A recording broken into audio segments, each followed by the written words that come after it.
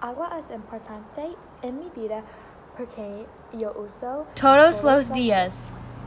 Me ducho, me lavo las manos, uso el baño, bebo agua y lavo los platos.